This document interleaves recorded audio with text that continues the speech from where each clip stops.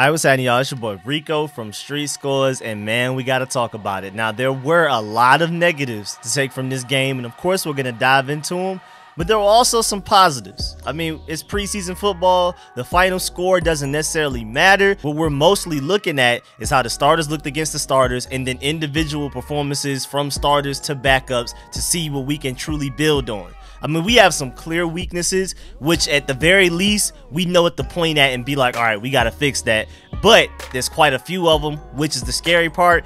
I'm not too worried. I'm not panicking. It's still preseason, and it was a really good team. If we think about it, the Chiefs are one of the best teams in the NFL, but still, allowing them to go, what, 5 of 5 or 6 of 6 on third downs with Pat Mahomes in the offense, that's inexcusable because at least with the offense, there's quite a bit of injuries. I mean, Armani Rogers is an undrafted free agent, and Eli Wolf, who's definitely not making the team, probably not even making the practice squad, were our two only healthy tight ends in that game. And they pretty much played the entire game. And then the offensive line, we had Saahdiq Charles starting at left guard. We had Keith Ismael playing pretty early snaps at center. Like as soon as the backups came in, Chase Roullier started for a little while, but he was on pitch count because he's dealing with injuries. You had Aaron Monteiro, I believe, at right guard, like fairly early into the game, may have even been starting. And then all you had was Samuel Cosmi as the only starter on the field at times. Again, after Chase Roullier was done with pitch count, your starting left tackle was Cornelius Lucas, who just got back from injury. So we have so many injuries on offense that you can kind of say, okay, there's a little bit of excuses there, but still at the end of the day, we still got to be better than what we were. And we're going to dive into a lot of the negatives, but again, there were some positives. But the defense is really scary because, again, even though it is the Chiefs, they didn't have Juju Smith Schuster, no Mecole Hardman, and Travis Kelce didn't even play as long as Pat Mahomes did. And then on defense, the only injury for real is Chase Young. That's it. Everybody else is healthy. And not only is everybody else healthy, but outside of Chase Young, these are all of the same starters from last year. So it's not like communication issues can be an excuse, not knowing what's going on in the secondary, all of that. There's no excuse. Again, if Chase Young were healthy right now, this will be the same exact defense as we had last year. And then with Chase Young gone, I mean, if you think about it, in that four-game win streak, Chase Young got hurt in the first game of that four-game win streak against the Buccaneers. We continued to win three more games after that without him. And so this is technically the same defense from that 10-game win from that four-game winning streak last year. No excuses at all. Again, the offensive line tight ends have a lot of injuries, and even they stepped up to an extent. The defense, there's literally no excuses. But that's really the theme of everything. But of course, we're going to go down the roster and we're going to try to look at every position group and even some of the backups, the guys that stood out the most. And we're going to break down what really happened today. And it's not black and white. There's some gray areas. Some specific guys had good moments and bad moments. It's not like we have guys that really did well all game and guys that played poorly all game. There's some guys that had good moments and bad moments within the same game, even in limited snaps. So we're going to dive all the way into it. We're not just going to put a blanket, Jamin Davis had a good day today, or such and such had a good day today. No, we're going to talk about, well, he mostly had a good day, but he also had these mistakes right here type of thing. Or he had a really bad day, but there were moments where he made some plays. Y'all know how we do, though. We're going to go position group by position group, starting with the quarterbacks and work our way down all the way to the offensive line. And then we're going to start with the defensive line and work our way all the way down to the DBs. Again, position group by position group.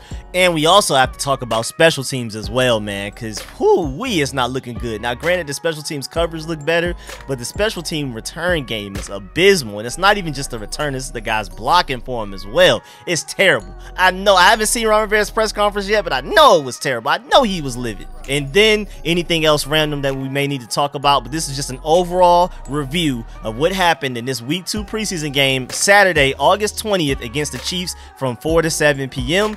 And before we dive in all of that, make sure you subscribe to the channel, hit the bell next to the subscription button so you get notification immediately. And every time I release an informative and opinionated video just like this one, make sure y'all pull up every Friday to the broadcast podcast. And most importantly, make sure you pull up every Sunday, including tomorrow at 6 p.m. for us to do the post-game live stream call-in. Of course, we're going to talk a little bit about training camp, but we're mostly doing a live stream reviewing what happened in this preseason game. And again, it's a call-in show, so it's for y'all. Of course, I'll rebuttal, I'll ask whatever questions y'all may have, but the show is literally made for y'all to call in and voice whatever opinions y'all have. Special teams, defense, offense, specific players, positive, negative, anything. And again, you if you want to ask questions, you may ask questions as well three minute timer so make sure you come with your ideas organized your points organized and without further ado let's get it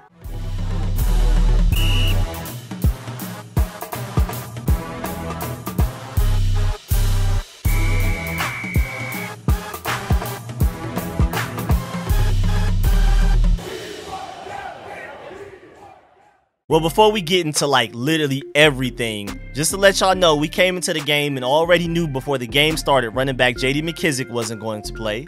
Tight ends Curtis Hodges and Cole Turner weren't going to play. And then, of course, John Bates was not going to play as well, and Logan and Logan Thomas is on the pup list. Then you also had offensive lineman Rashad Hill, Andrew Norwell, your starting left guard, Wes Schweitzer, your direct backup to all the guards and even the center, Charles Leno, your starting left tackle, and Ron Rivera. I saw something about that it was a minor health issue, so they didn't want to risk it. They didn't want him to fly, but he should be good to go. He should definitely be there for the next preseason game if we play the starters. And then you also had backup guard Nolan Laufenberg and then starting right guard Trai Turner.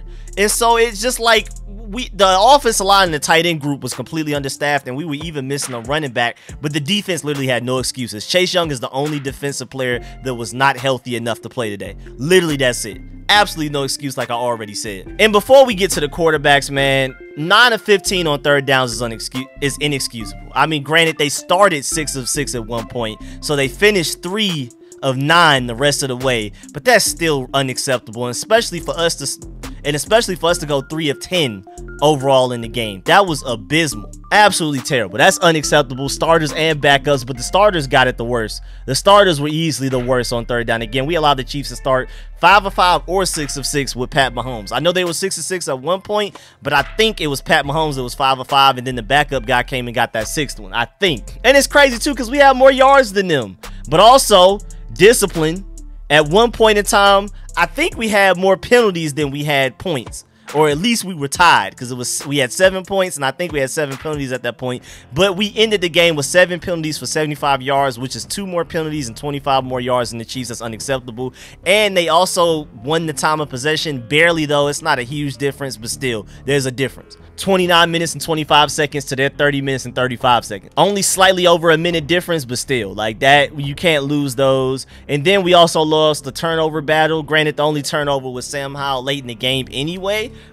but that was our chance to win the game. It was 14 to 17. We had the ball with less than three minutes left, like two minutes and 40 seconds left. And then that Sam Howell interception killed it. I mean, the Chiefs scored like three or four plays right afterwards. So that killed any chance of us winning the game. But again, it's the preseason. So winning the game is not the priority. But still, you prefer to win the game. It feels good. I mean, the Ravens are undefeated in the preseason, and that has to feel good to say, even though it doesn't account for anything, because the Patriots be going 0 of 3 in the preseason quite often. But it still feels good to win your preseason games when you can. And that's also funny, too, because we go against the Ravens next week, and pretty much everybody's already penciling in that we're going to lose it because the Ravens have the record for the longest preseason win streak in NFL history, and us going in there 0 and 2 not looking good.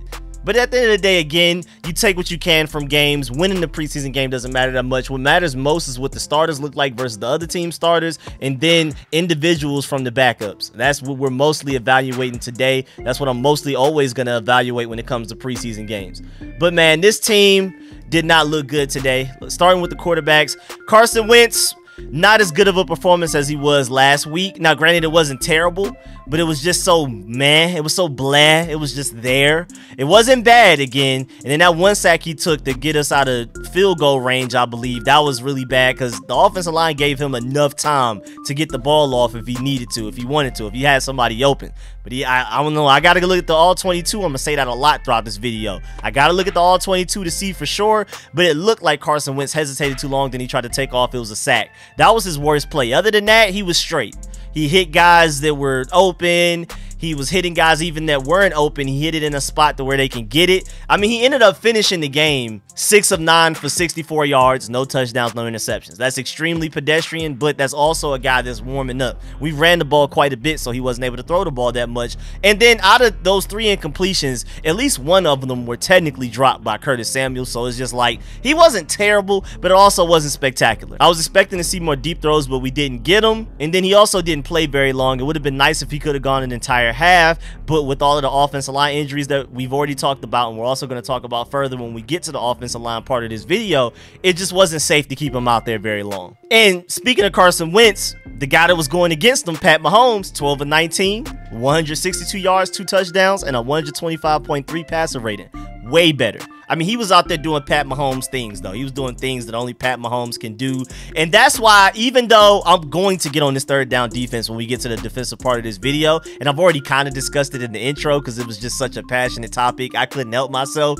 But at the end of the day, it's Pat Mahomes and the Chiefs. Now, granted, they didn't have Mecole Hardman or Juju Smith-Schuster, just like the Panthers last week didn't have Christian McCaffrey or DJ Moore. These teams are out here without some of their best weapons. I mean, Travis Kelce was out there for a little while, but I think he was only out there for maybe the first series. After that, they took him out. So it's still no excuse, but at the end of the day, it is the Chiefs. It is still Pat Mahomes, Eric Bieniemy, as Andy Reid. So, like, they're expected to beat up on even good defenses. But at the end of the day, the way we went out there was inexcusable no matter who we played. And at the end of the day, if you can't beat the Chiefs, it's not necessarily like if you can't beat the Chiefs, you, who can you beat? But these are teams you're going to have to play, especially if you want to get to the postseason. You're going to have to win these type of games. You're going to have to beat some teams that that people don't expect you to beat. You're going to have to be the underdog and come out victorious in some games. You can't only just beat the teams that people expect you to beat, and then we have the odds of winning by by Las Vegas betting. Like, you have to beat teams like the Chiefs. You got to be better than them. We can't just consistently lose to the teams better, supposedly better than us,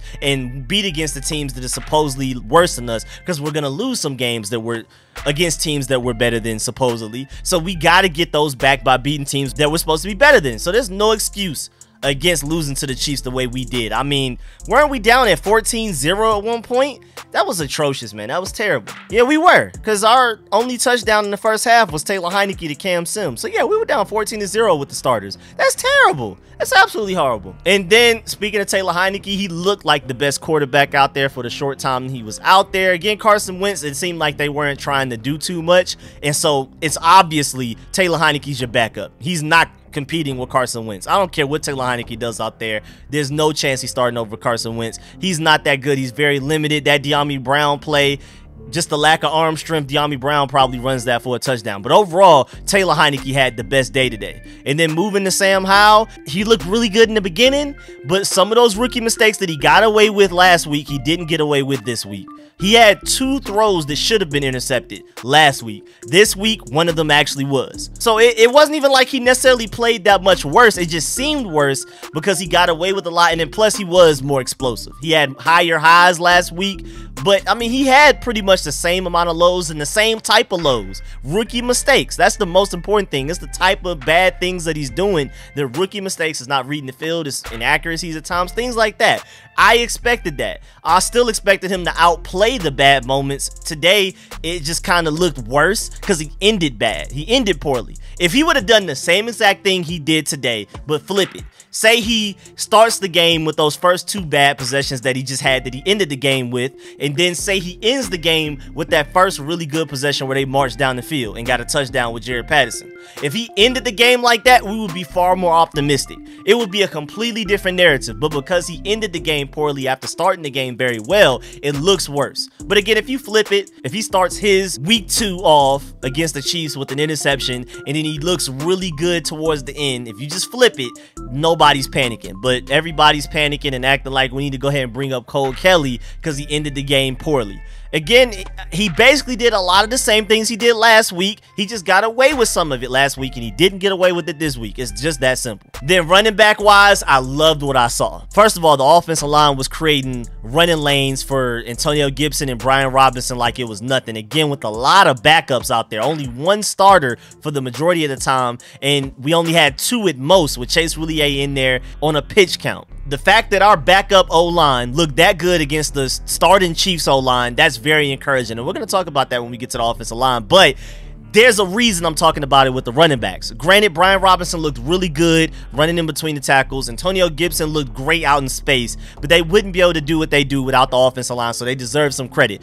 But back to the running backs, Brian Robinson, your number one running back. Literally your starting running back. Antonio Gibson was on the first kickoff return, and Brian Robinson was completely out there with the first team except for like maybe one or two carries that Antonio Gibson got. And then the thing that like was the nail in the coffin was the fact that when Taylor Taylor Heinicke came out there, Antonio Gibson was the running back out there, was the majority running back out there at that time. So that clearly showed that Brian Robinson was first team and Antonio Gibson was second team. If Antonio Gibson wouldn't have been out there super long with Taylor Heinicke, you could maybe say like, oh, they just wanted to take a look at Brian Robinson. We know we got with Antonio Gibson.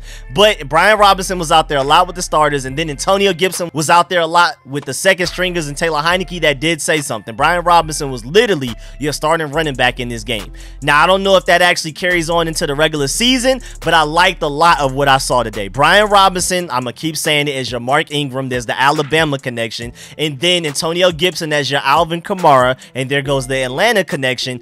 I think that's perfect. I think this offense is deadly if we utilize them that way. Say if Brian Robinson gets the first carry of the game most of the time. He's out there the first time. But I want Antonio Gibson on the field a lot anyway. And Rivera even spoke about it in his press conference after the game. Again, I haven't had a chance to watch it, but I've seen a couple of quoted tweets from it. And he basically said they want to continue to get Antonio Gibson out in space just like they did. and Not completely agree. Use him like Alvin Kamara, like Cordell Patterson, and let him make plays like he made today. You saw how open he was getting as a receiver. You saw some of those catches from inaccurate passes that he was that he was reeling in, making guys miss out in space to get more yards after the catch. That is what he does best. Never forget that 80-yard screen pass against the Buffalo Bills. I don't think anybody else on this team could have done that. I love J.D. McKissic, but he trips over his own feet at certain times. Brian Robinson, love him. I'm super excited about him, but he doesn't have the speed speed and athleticism to do that. Antonio Gibson is probably your only player, maybe Curtis Samuel, maybe one of these other receivers, maybe that could have taken that screen 80 yards the way that he did against the Buffalo Bills. And he showed you some of that today against the Chiefs. Again, against the backups with the backups, but he still looked really good, and that is the ideal combination. Brian Robinson and Antonio Gibson is your one-two punch, your Mark Ingram and your Alvin Kamara. I think that's absolutely beautiful. We showed a little bit of that. We showed a little bit of that today, and I hope Scott Turner takes advantage of that more often, especially in the regular season. And then Jonathan Williams and Jaret Patterson actually looked pretty good at times. They looked really good. Good vision. Jaret Patterson got cheated out of that one touchdown and then got it right back afterwards. I like the fact that Scott Turner called that play to allow him to get it again because they should have never blown the whistle for stop forward progress right there. Let the man figure it out. He's not a quarterback. Wait till he's down to call it. It's not that serious. And it's preseason too. So it's just like, come on, let the guy have his moment. So shouts out to Jonathan Williams and Jaret Patterson. They're making that last fourth running back spot highly competitive. I still think Jonathan Williams is above Jaret Patterson, but Jaret Patterson's been doing everything he can to prove that he should be the guy there.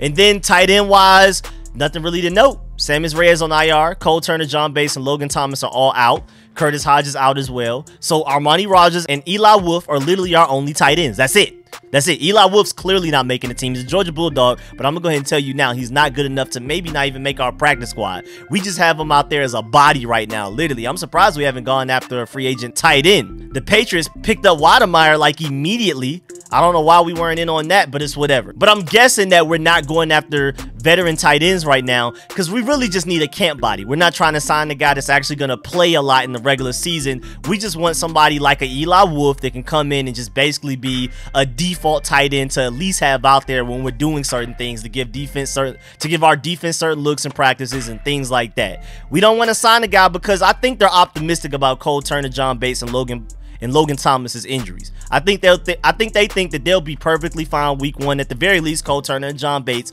with no injury worries, and I think we'll just be just fine. So I don't think so. In my opinion, again, we're not signing a veteran free agent tight end because we don't necessarily need them for the regular season. It would be nice to have them right now, but then again, I'm really happy that Armani Rogers is out there making plays. He looks really good in the receiving game. He's improving as a blocker. Now he did have that one unnecessary block where he was blocking too long, but I know the coaches are always on him, telling him to be more physical. Right there, he got a little too physical. I'm not too mad at him, but you still can't do that. But I'm pretty happy with what I saw from Armani Rogers these first two preseason games, and he may actually carve out a spot on this roster. I really hope we find a way to keep him because I know if we put him on the practice squad and let the other team take him, they're going to be patient enough to develop him, and he's going to end up being a really good tight end. I keep saying he has Darren Waller potential because I believe it.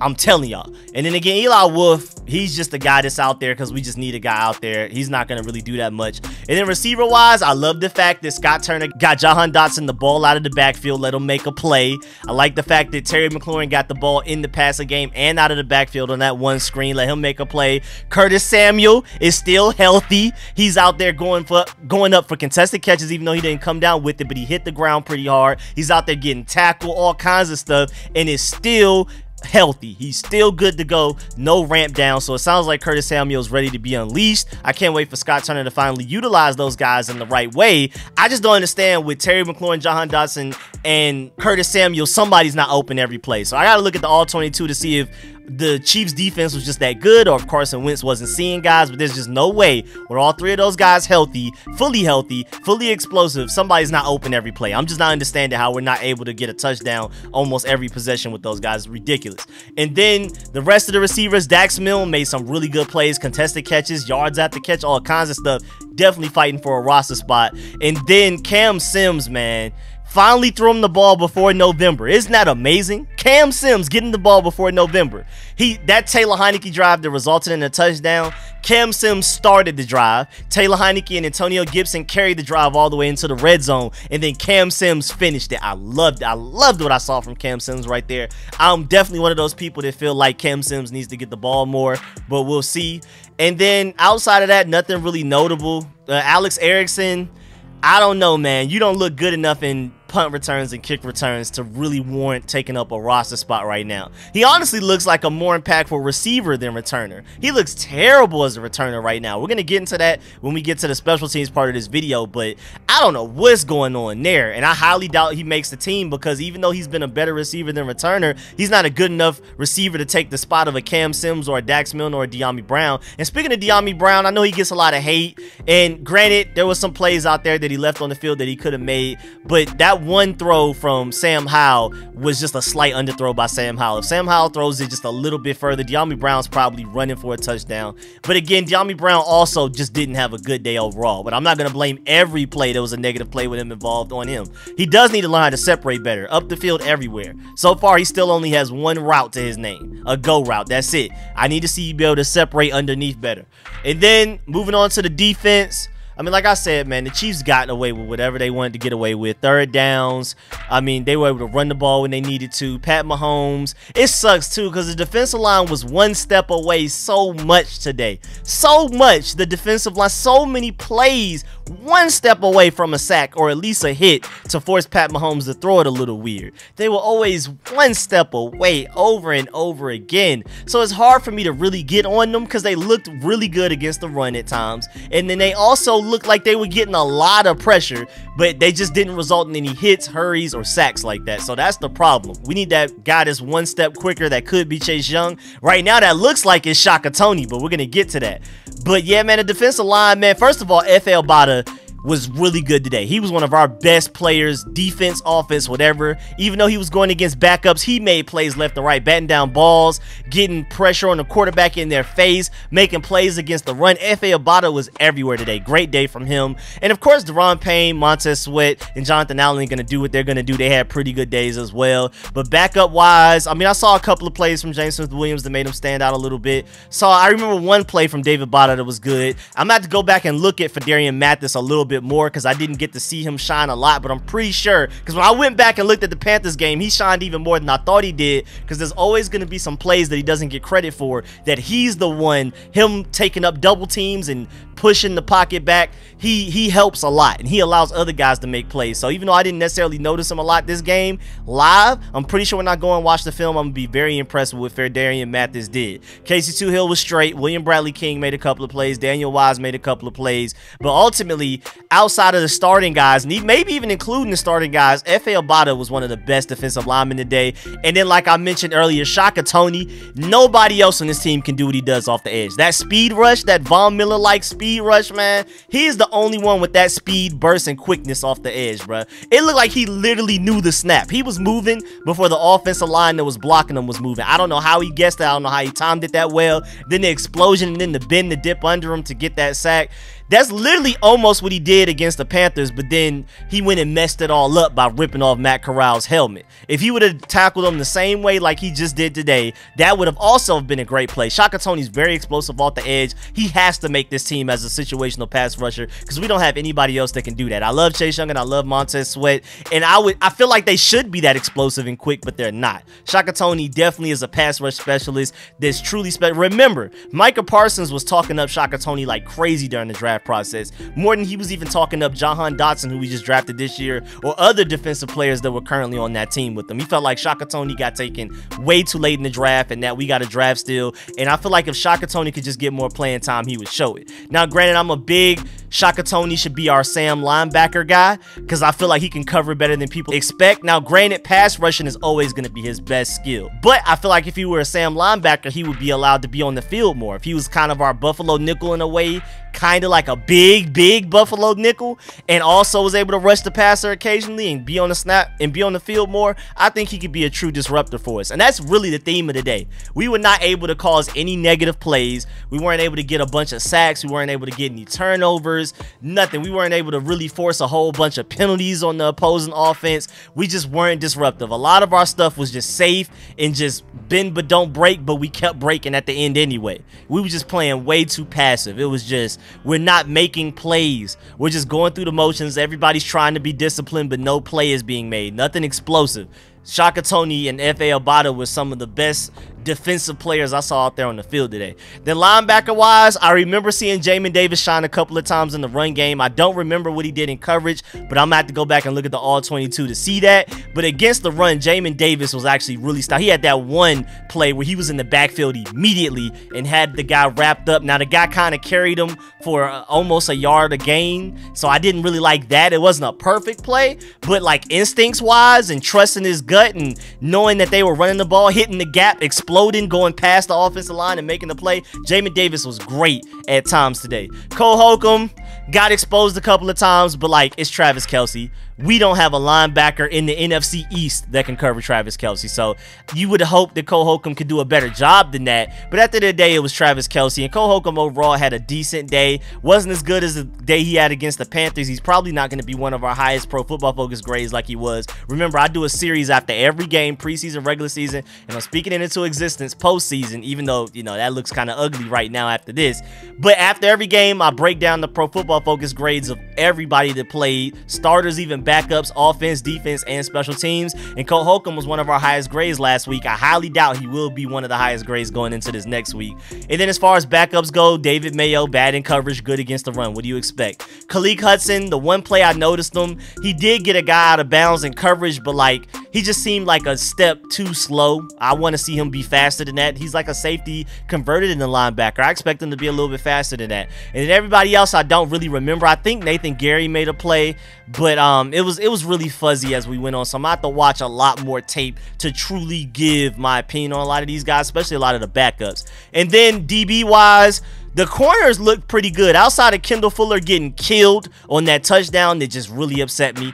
The William Jackson had that one pass breakup that shouldn't have been called as a pass interference. It was both of the guys fighting. That was a bad call by the ref, in my opinion. And then after that, after he made that great play, again, it was flagged. I felt like it shouldn't have been. He wasn't targeted anymore from what I believe. So it was more so like second half of last season, William Jackson, where he's shutting down an entire third of the field. The quarterback doesn't even look his way because he just assumes the receiver is not open. So that's good. Kendall Fuller, after that bad play that he had for that touchdown, stepped up big time and was really good from there on out. Benjamin St-Juste got killed on that one double move where I forgot the receiver, but he kind of took it inside a little bit, then he shot up, and William and Benjamin St-Juste was lost. He he didn't know what was going on. Other than that, he was pretty good as well. So the corners played pretty well, out of the starters at least. The backups, you know, there's a little bit more discrepancy. Corn Elder made a really good play, but got hurt doing it. Danny Johnson was getting carved up again. I'm surprised because I'm actually pretty high on Danny Johnson. And then the other guys, I didn't really notice that much. Christian Holmes made a bad play on special teams, like he didn't block a guy one time, whereas the Y we had a really bad kickoff return. Um, but again, I'm about to look at the tape for a lot of the minute details. But overall, the corners played pretty well, especially the starters. It was the safeties that were getting killed. Kamren Curl had one of the worst games I've ever seen him have in a burgundy and gold uniform. He was getting killed every which way. Bobby McCain, people always talk about how he's better in the slot than at safety, especially free safety. They had him in the slot one on one against a tight end. He got killed, got burnt with a double move. You know, it, it just wasn't a good day, man, especially from the safeties. When Kamren Curl is letting you down more than once, too, I remember three plays vividly where it was just like, what's going on? Now, I'm about to look at the tape because Kamren Curl's my guy. He's been such a beacon of consistency, so it's hard to believe that that many things were his fault. But from what it looked like live, it did. But I'm gonna have to go back and look at the tape to see if it like was maybe not his fault, maybe it was somebody else's, and he tried to make up for it and then made a bad play trying to make up for somebody else's fault. I don't know. I know it sounds like I'm making excuses. It's just so hard to believe that Kamren Curl had a day that bad. That was just not good. Then Darrick Forrest and Percy Butler flashed at times, but also made mistakes at times. That's what you're going to get. I expect better, and I think they're going only getting better, and they're going to just continue to contribute on defense. I like them a lot. I love them as backup safeties, and I think Percy Butler is our future starting free safety over Bobby McCain at some point. May not be this year, but some point, maybe two, three years down the line. And then Jeremy Reaves. Um, that one penalty they called on him, he helmet to helmet, that was a terrible call. That wasn't. Outside of that, I don't really remember what he did except for that one play I forgot. I think it was Danny Johnson underneath, Jeremy Reaves above. They let the receiver get open, so that was a bad play on both of their parts. Outside of that, I don't really remember what Jeremy Reaves did, so that's like one negative that technically wasn't a negative, and then the other negative, he was kind of late to getting to the receiver that Danny Johnson should have been covering underneath, but he got burnt. Um, and then outside of that, I don't really remember seeing what he did. And then Farrah Gardner, don't really remember noticing him. And then Steven Parker, the MVP from last game, didn't shine as much today. He didn't look like Lewis Cine today, which is expected. He's technically last on the depth chart out of the entire safety group. If you look at our depth chart, he's the only one that's in the fourth string column. Everybody's third stringing up. He's the only fourth string safety, period, strong or free. And so, like, you know, he's not supposed to just go out there and be Ed Reed or even Lewis Cine. Like I said, that's what he looked like last game, being everywhere. My Georgia Bulldog, Lewis Cine. But um, today, you know, it, I don't even think it was a bad day. He just didn't shine as much. He didn't make as many great plays. Uh, that's another guy I'm gonna have to really look at the tape to truly know what happened with him. But yeah, man, overall, that the defense, there were positives to take away, but there were also a lot of negatives. Really, really weird day. And then special teams wise, even Tress Way started off kind of bad, kicking the ball into the end zone. Then he got it together after that. Joey Slye looked good. He made his couple of extra points, which he needs to do. And he was booming the kick into the back of the end zone for the Chiefs after we scored. So that was good to know. So special teams wise, Joey Slye was our best guy. Tress Way is probably a close second.